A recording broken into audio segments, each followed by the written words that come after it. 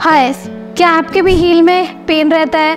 जैसे ही आप पहला कदम रखते हैं सुबह उठ के, आपको एक शार्प शूटिंग पेन फील होता है और जैसे ही थ्रू आउट द डे आप चलते हैं वॉक करते हैं, कदम को आगे बढ़ाते हैं, आपके पेन में आपको रिलीफ आता है।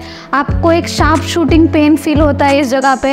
एक स्टिफनेस सा रहता है स्वेलिंग सा रहता है। बेयर फुट चलने में काफ़ी डिफ़िकल्टीज आती है। तो ये पेन आपको प्लांटर फेसाइटिस का पेन हो सकता है। तो आज की इस वीडियो में हम जानेंगे बेस्ट एक्सरसाइजेस जो आप घर पे कर सकते हैं प्लांटर फेसाइटिस के पेन से रिलीफ पाने के लिए। हाय तो अगर आपका प्लांटर फेसाइटिस काफ़ी एक्यूट फ़ेज़ में है तो फ़र्स्ट ऑफ़ ऑल आप एक्सरसाइज स्टार्ट करने से पहले आइसिंग कर सकते हैं। आपको अगर इस जगह पे काफ़ी शार्प शूटिंग पेन फील होता है तो आप दिन में four two five time icing कर सकते हैं। फ़र्स्ट इंट्रेंसिक फ़ूड स्ट्रेंथनिंग के लिए हम एक्सरसाइज करेंगे टोकल टोकल करने के लिए आप एक फैब्रिक या टा, टाल को ऐसे फ्लोर पर और ज़मीन पर रख सकते हैं। आपके बिग टो को कल करना एंड फोल्ड कल।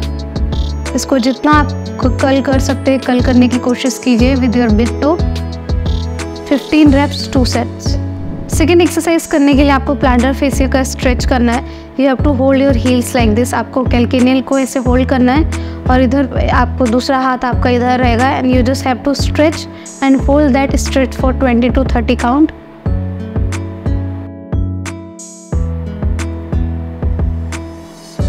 and relax so third exercise करने के लिए आप ऐसे एक रोल ले सकते हो, आप वाटर बॉटल ले सकते हो फॉर्म रोलर ले सकते हो। आपको अपने अफेक्टेड लेग को इस, इस तरीके से हील को प्लेस करना है। बॉडी वेट को इस पैर पे ट्रांसफ़र करना है और बॉडी वेट के साथ आपको रोल करना है। प्लांटर फेसिया को रिलीज़ करने के लिए आपको इस तरीके से रोलिंग करना है। रिलीज़ करते हुए आपको टो टू हील तक इस तरीके से रोल करना है। 30 second roll three sets third exercise करने के लिए आपको ऐसे ब्रिजेस पोजिशन में आना है।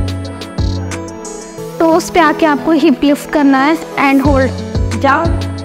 फ़र्स्ट एंड सेकेंड टो पर आने की कोशिश करना है. जितना ज़्यादा वेट लेकर आप आ सकते हो.